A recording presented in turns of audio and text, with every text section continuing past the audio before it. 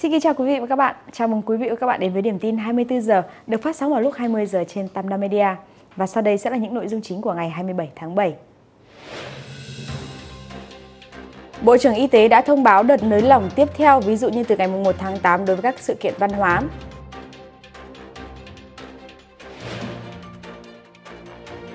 Theo như Reuters vào ngày 26 tháng 7 dẫn nguồn tin cho biết, Phó Tổng thống Mỹ Kamala Harris sẽ đến Việt Nam và Singapore vào tháng 8. Theo Sở Du lịch Thành phố Hồ Chí Minh, người dân khi có nhu cầu cách ly có thể liên hệ với các khách sạn đã được chuyển đổi công năng thành cơ sở cách ly để được phục vụ.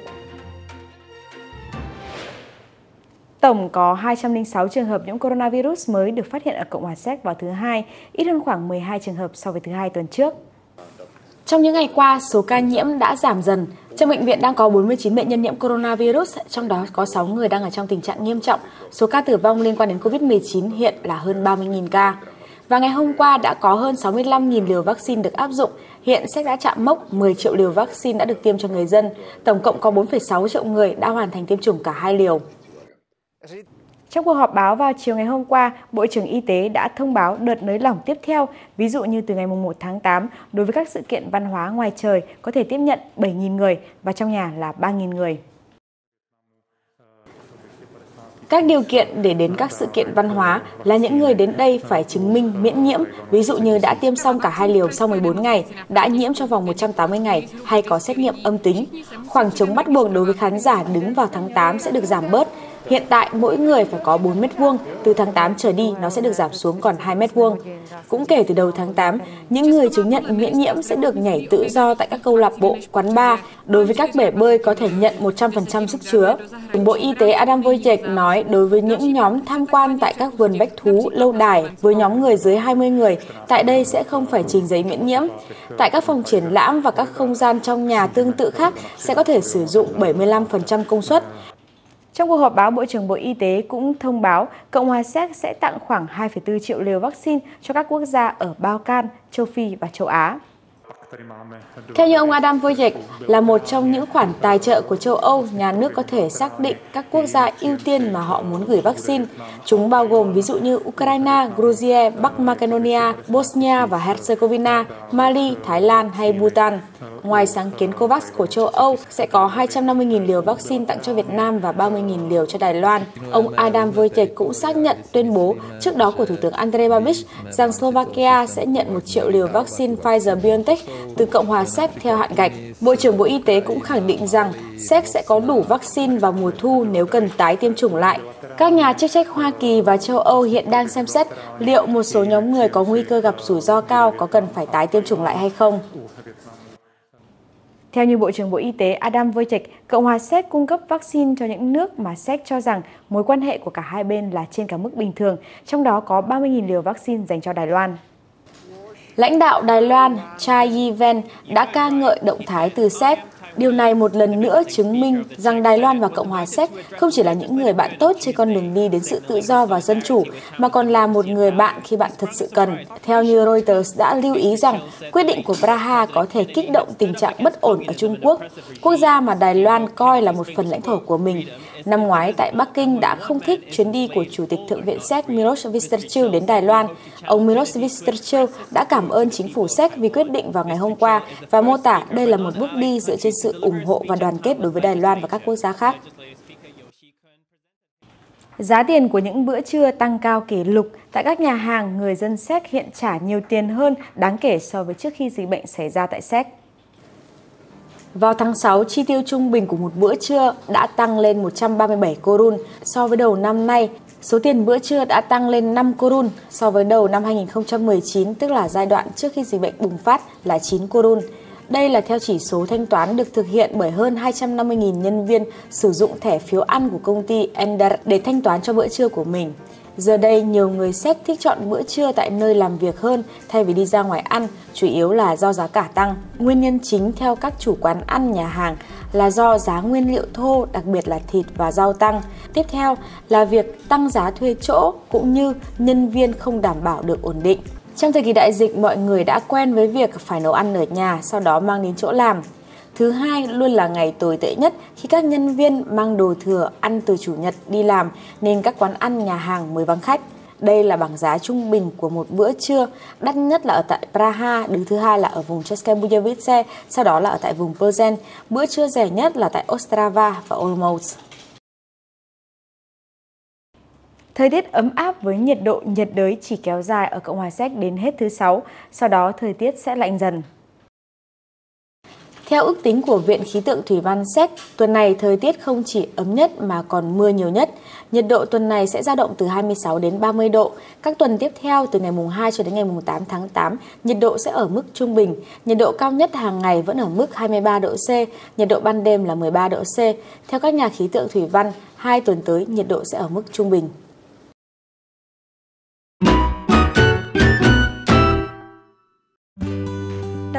Lợi, tiết kiệm thời gian và an toàn với Tam Đại Express. Giao hàng siêu tốc trong 24 giờ tại Praha và 72 giờ tại các thành phố khác. Bạn hoàn toàn theo dõi đơn hàng ngay sau khi chốt đơn. Hàng hóa luôn được giao tận tay đến tận cửa hàng an toàn và tiện lợi. Dịch vụ Tam Đại Express vẫn giao hàng trong thời gian lockdown. Hãy truy cập website tam đại express.eu để đặt hàng trực tiếp. Tam Đại Express nhanh chóng, tiện lợi và an toàn. Theo như Reuters vào ngày 26 dẫn một nguồn tin cho biết Phó Tổng thống Mỹ Kamala Harris sẽ có thể đến Việt Nam và Singapore vào tháng 8. Tuy nhiên hiện chưa có thông báo chi tiết về chuyến viếng thăm này. Theo nguồn tin, chủ đề dịch COVID-19 có thể sẽ nằm trong chương trình nghị sự của bà Harris trong thời gian gần đây, Mỹ liên tục viện trợ vaccine ngừa COVID-19 cho Việt Nam thông qua cơ chế chương trình COVAX. Trong số này, 3 triệu liều vaccine Moderna lần lượt đến Hà Nội và thành phố Hồ Chí Minh trong hai ngày 24 và 25 tháng 7. Phó Tổng thống Mỹ gần đây đã đến thăm Mexico và Guatemala với mục đích giảm thiểu tình trạng di cư khỏi khu vực. Trong một diễn biến liên quan, Bộ trưởng Quốc phòng Mỹ Lloyd Austin thăm Việt Nam từ ngày 28 đến 29 tháng 7 theo khuôn khổ chuyến thăm ba nước Singapore, Việt Nam, Philippines kéo dài một tuần. Jeff Bezos vào ngày 26 tháng 7 đề xuất hỗ trợ NASA 2 tỷ USD nếu cơ quan này giao hợp đồng chế tạo tàu vũ trụ chở phi hành gia lên mặt trăng cho Blue Origin. Trong lá thư gửi Giám đốc NASA Bill Nelson, Bezos đề xuất Blue Origin sẽ miễn thanh toán cho chính phủ Mỹ trong năm tài khóa hiện tại và những năm tới với tổng số tiền lên tới 2 tỷ đô la Mỹ và sẽ chi trả cho một chuyến bay lên quỹ đạo để thử nghiệm công nghệ. Đổi lại, Blue Origin muốn có hợp đồng với mức giá cố định bao gồm cả việc chi trả bất kỳ chi phí phát triển nào bị đội lên. Trong lá thư của mình, Bezos viết, nếu không có cạnh tranh, tham vọng mặt trăng của NASA trong ngắn hạn và dài hạn sẽ bị trì hoãn. Cuối cùng, chi phí bị đẩy lên cao hơn và không mang lại lợi ích cho đất nước. Một phát ngôn viên của NASA cho biết cơ quan này quan tâm tới lá thư của ông Bezos, nhưng từ chối bình luận thêm với lý do Blue Origin đã đâm đơn kiện lên văn phòng trách nhiệm chính phủ Mỹ GAO cáo buộc NASA trao cho SpaceX lợi thế bất bình đẳng khi cho phép công ty này thay đổi giá hợp đồng. Giám đốc điều hành BioNTech cho biết khả năng miễn dịch ở người đã tiêm hai mũi vaccine vào tháng 1 suy giảm nhưng vẫn đủ để bảo vệ con người trước biến chủng mới. Theo giám đốc điều hành BioNTech Ugur Sahin, hiệu kháng thể đang giảm xuống, khả năng bảo vệ của vaccine chống lại biến chủng mới thấp hơn đáng kể. Tuy nhiên, ông cho biết ngay cả khi mức độ kháng thể giảm sau 7 tháng tiêm chủng, hầu hết người đã tiêm vaccine vẫn được bảo vệ, tránh nguy cơ biến chứng nặng. Ông nhận định thế giới hiện nay có thể chưa cần tiêm mũi vaccine tăng cường. Ông Sain cho biết thêm, giờ đây chính phủ cần quyết định họ sẽ tiêm mũi thứ ba để tăng cường miễn dịch hay cho phép tình trạng nhiễm bệnh có kiểm soát xảy ra ở người đã tiêm chủng.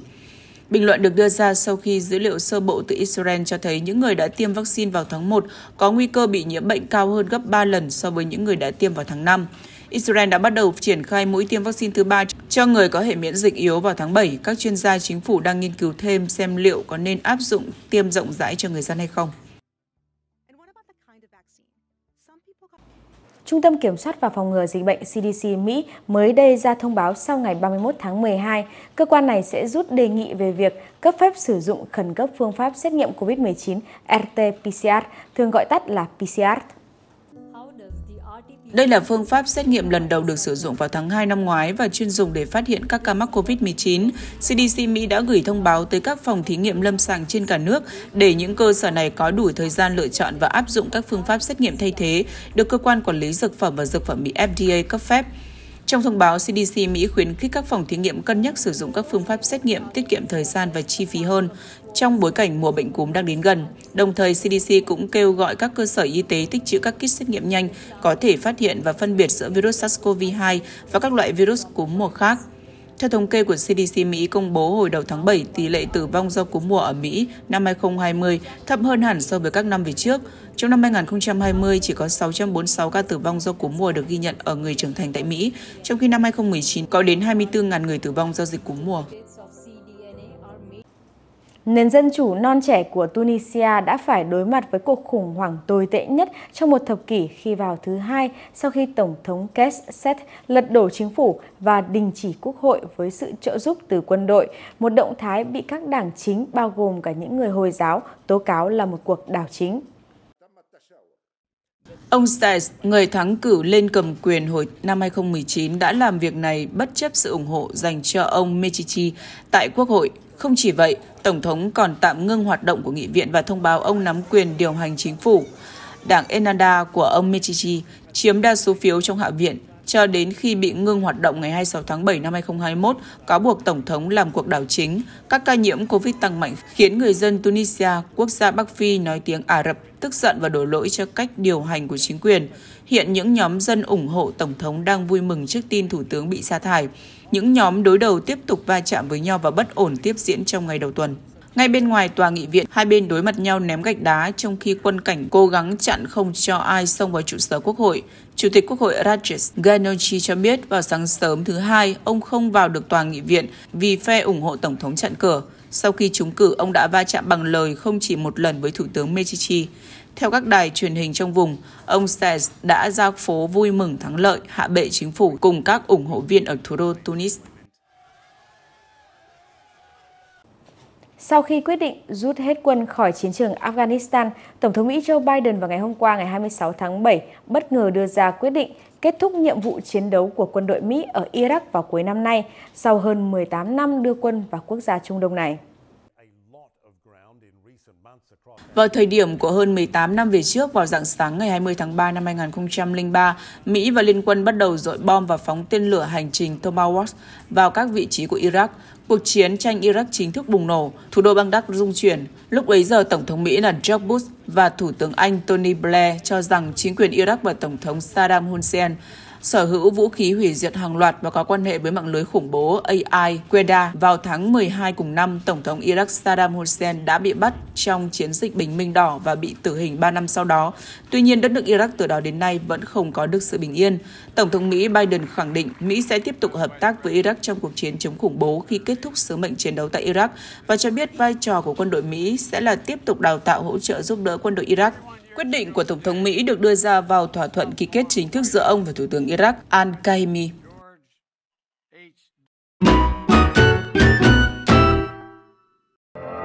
Tọa lạc tại trung tâm thành phố Ustí-nad Cộng hòa Séc, trung tâm thương mại Tam Đa nằm tiếp giáp Cộng hòa Liên bang Đức, giao thông giao thương thuận lợi. Trung tâm thương mại Tam Đa Usti thu hút hàng ngàn khách hàng mỗi ngày, ngay cả trong thời gian dịch bệnh.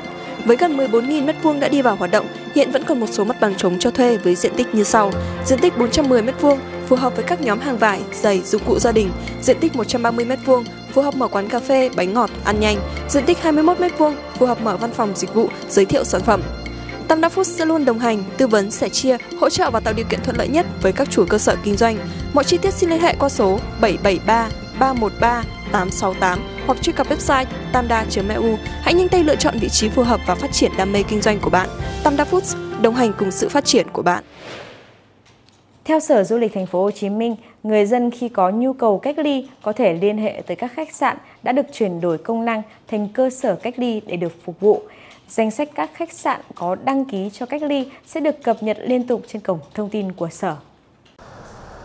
Hiện nay, Sở Du lịch đã vận động được 395 khách sạn đăng ký làm điểm cách ly F1 tương ứng với 13.426 phòng.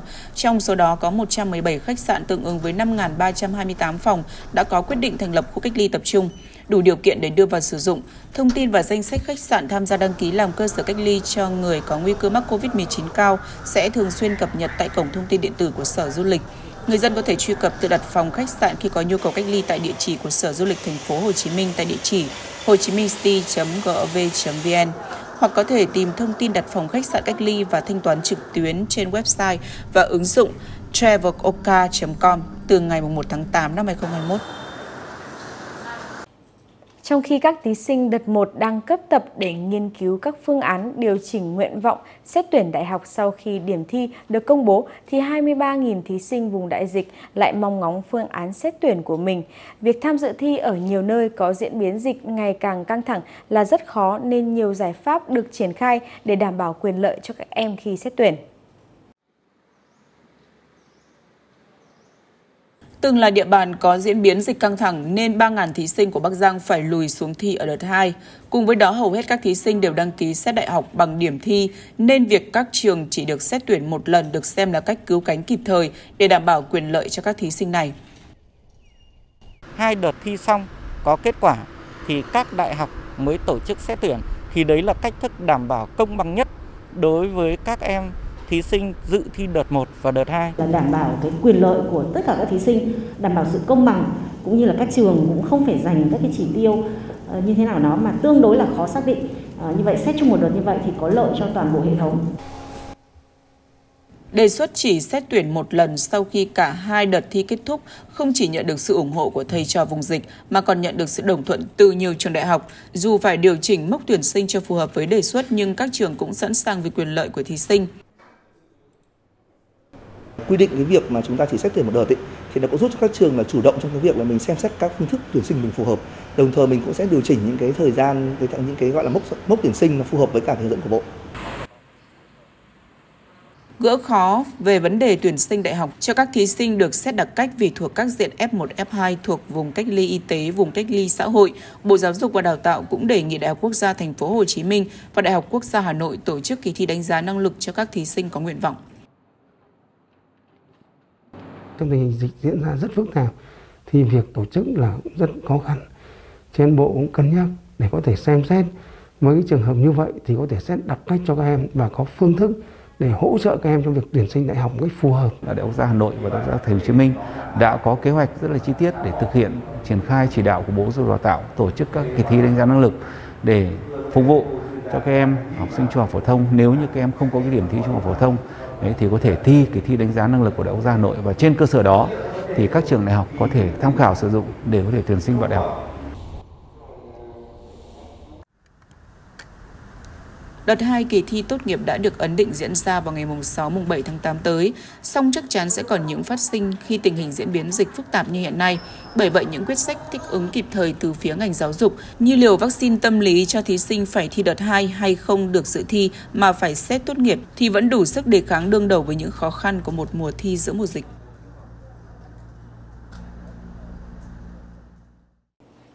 Từ khi xuất hiện ca mắc COVID-19 mới đầu tiên tại Khánh Hòa vào tháng 2 2020, Bộ Chỉ huy Quân sự tỉnh Khánh Hòa ngoài nhiệm vụ huấn luyện, diễn tập sẵn sàng chiến đấu thì còn đảm đương nhiệm vụ chống dịch, tăng cường kiểm soát, chăm sóc, phục vụ công dân tại các khu cách ly, đảm bảo công tác hậu cần trong sinh hoạt, ăn ở của công dân ở nơi cách ly.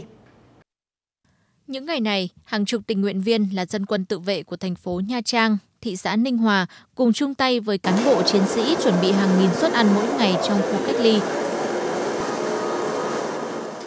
Ờ, để đảm bảo công tác phục vụ tốt nhất cho bà con, công dân đang cách ly tại đây, thì ờ, hàng ngày thì chúng tôi phải dậy sớm từ ờ, 3 giờ sáng.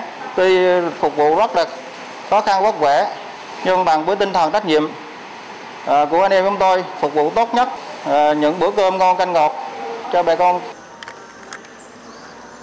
vào những thời điểm dịch bệnh trong nước tạm lắng, các khu cách ly sẽ thực hiện nhiệm vụ cách ly y tế công dân Việt Nam từ nước ngoài trở về, các trường hợp F1. Đợt dịch từ ngày 23 tháng 6 đến nay, Ban chỉ đạo phòng chống dịch COVID-19 Khánh Hòa yêu cầu cách ly tập trung tất cả những người có yếu tố dịch tễ và người trở về từ vùng dịch và các trường hợp F1 của các ca mắc COVID-19. Các công dân vào cách ly ở đây ý thức rất rõ sự quan tâm của các cấp chính quyền và đặc biệt là sự giúp đỡ của các cán bộ, chiến sĩ luôn tuân thủ nghiêm ngặt các quy định về phòng chống dịch. Chúng tôi được ban quản lý bố trí phòng ở sạch sẽ, thoáng mát. Phần ăn thì đảm bảo dinh dưỡng và an toàn thực phẩm. Mọi người ở đây thì ai cũng chấp hành nghiêm ngặt nội quy cách ly. Kể từ khi dịch COVID-19 bùng phát lần thứ tư đến nay, các khu cách ly y tế tập trung do Bộ Chỉ huy Quân sự tỉnh Khánh Hòa đảm nhận đã tổ chức cách ly hàng ngàn công dân. Ở đây ờ, chúng tôi ờ, phát huy với tinh thần ờ, tích cực và cố gắng hết mình đối với Ờ, các ờ, đồng chí ờ, được phục vụ ở trong khu vực đây. Với tinh thần là vì đồng bào là chính. Những người lính mà trực tiếp thực hiện nhiệm vụ ở khu cách ly cũng như ở những khu vực mà cùng với nhân dân mà phòng chống dịch á, thì ngoài cái cái cái cái, cái phát huy cái bản chất cái truyền thống ăn bộ đồ hồ thì bản thân họ cũng được đơn vị này của đội giáo dục và đó là cái vinh dự và cái trách nhiệm mà không phải là riêng của cá nhân mình mà đó là phải mang cái hình ảnh và cũng như là cái cái tình thương đối với đồng bào nói chung cùng với việc đảm bảo hậu cần cơm nước nơi ngủ nghỉ cho những người trong khu cách ly các cán bộ chiến sĩ còn chủ động phối hợp với đội ngũ y tế thường xuyên thăm khám đảm bảo sức khỏe cho người dân với sự cố gắng nỗ lực cùng với tinh thần trách nhiệm, tình quân dân gắn bó chặt chẽ, lực lượng vũ trang trên địa bàn tỉnh Khánh Hòa từng bước góp phần thực hiện hiệu quả công tác phòng chống dịch. Thanh tra Chính phủ vừa có thông báo kết luận thanh tra một số dự án đầu tư xây dựng từ nguồn vốn ngân sách, nguồn vốn vay, việc chuyển đổi, chuyển nhượng nhà đất của cơ quan nhà nước, doanh nghiệp nhà nước, các nhà đất có vị trí đắc địa sang mục đích khác của thành phố Hà Nội giai đoạn 2003-2016. Trong đó, Thanh tra Chính phủ chỉ rõ những sai phạm gây ra lãng phí ngân sách nhà nước tại dự án tuyến xe buýt nhanh BRT. Theo đó, hợp phần 1 xe buýt nhanh BRT thuộc dự án phát triển giao thông đô thị Hà Nội, gói thầu BRT CP04A xây dựng đường trạm xe buýt từ Bộ Y tế đến khuất Duy Tiến và gói thầu BRT CP4B xây dựng đường trạm xe buýt từ khuất Duy Tiến đến bến xe Yên Nghĩa. Chủ đầu tư đơn vị tư vấn khi lập bước thiết kế đường đã thay thế mặt đường bê tông nhựa bằng mặt đường bê tông xi măng. Trong khi đó, theo hồ sơ báo cáo khảo sát trên nền mặt đường dự án phát triển giao thông đô thị Hà Nội, hợp phần xe buýt nhanh BRT1 hồi tháng 2 năm 2009 do công ty cổ phần tư vấn Việt Delta lập, Kết quả đo mặt đường tại các tuyến đường này đều có kết quả đo cường độ mặt đường tốt, gây lãng phí ngân sách nhà nước hơn 15 tỷ đồng. Kết luận của Thanh tra Chính phủ về sai phạm kinh tế hợp phần 1 xe buýt BRT thuộc dự án phát triển giao thông đô thị Hà Nội có tổng số tiền sai phạm là trên 43,5 tỷ đồng. Sau 3 ngày triển khai cấp mã QR code cho phương tiện vận tải, Sở Giao thông Vận tải Hà Nội nhận được hơn 20.000 đề nghị cấp QR code. Các bộ phận nhân viên của đơn vị này đã phải làm việc 24 trên 24 giờ để triển khai thực hiện và đã cấp được hơn 7.000 giấy thông hành. Tuy nhiên, rất nhiều hồ sơ không đủ điều kiện, không đủ thông tin và những vướng mắc trong việc xác định danh mục hàng hóa thiết yếu được lưu thông qua địa bàn thành phố cũng đang trở thành nguyên nhân dẫn đến số lượng mã cấp chưa đáp ứng được nhu cầu. Để đảm bảo thời gian giải quyết đăng ký giấy nhận diện phương tiện được nhanh chóng và tạo thuận lợi cho đơn vị vận tải, Tổng cục Đường bộ Việt Nam đã có văn bản 11 gửi Sở Giao thông Vận tải khu vực phía Bắc để thực hiện điều chuyển các xe vận tải hàng hóa để giải quyết kịp thời, nhanh chóng và giảm tải cho việc cấp mã QR code tại Sở Giao thông Vận tải Hà Nội. Thưa quý vị, Cục An toàn Thực phẩm Bộ Y tế Việt Nam vừa đưa ra cảnh báo về hai sản phẩm tự nhận có công dụng kháng COVID-19. Cụ thể, hai sản phẩm viên uống xuyên tâm liên CV19 có logo Toàn Lộc và xuyên tâm liên CV19 có logo Nhất Lộc là giả mạo do chưa đăng ký bản công bố tại Cục. Trong khi phối hợp với các cơ quan chức năng để xử lý, Bộ Y tế cảnh báo không có bất kỳ loại thực phẩm chức năng, thực phẩm bảo vệ sức khỏe nào chữa hay kháng được COVID-19. Người tiêu dùng phát hiện hai sản phẩm ghi các công dụng và đặc điểm trên không mua, không sử dụng và báo cáo ngay cho cơ quan chức năng gần nhất.